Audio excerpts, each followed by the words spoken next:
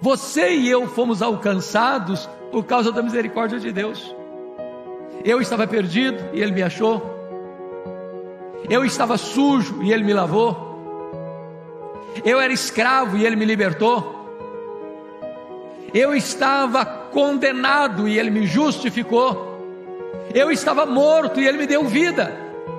Tudo isso é a expressão da misericórdia de Deus por nós.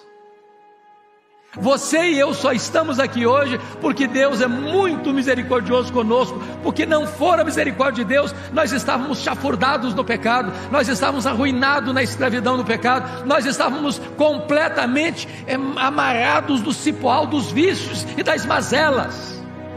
Foi a misericórdia de Deus que nos trouxe até aqui.